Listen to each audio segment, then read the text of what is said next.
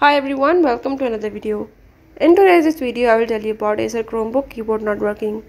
So if you are facing the keyboard related problem in the Acer Chromebook, I will tell you how to resolve it. Before I move to the video, if you are new to my channel, don't forget to subscribe and press the bell icon. Let's watch complete video, follow all the steps and you will learn it.